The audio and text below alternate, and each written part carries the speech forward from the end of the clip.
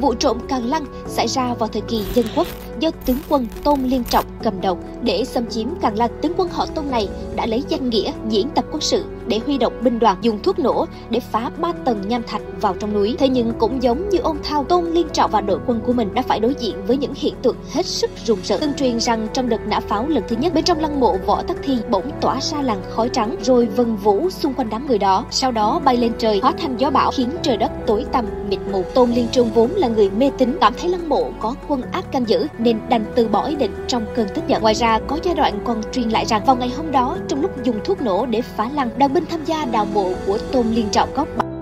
bất đắc kỳ tử các hiện tượng kỳ lạ cùng với những giai thoại rùng rợn từng được lưu truyền về nơi an nghỉ của võ tắc thiên đã khiến đám binh lính ấy bỏ cả mũ giáp tháo chạy khỏi càng lăng sau này cũng chẳng có ai dám bán mạng cho tôn liên trọng để đào trộm ngôi mộ này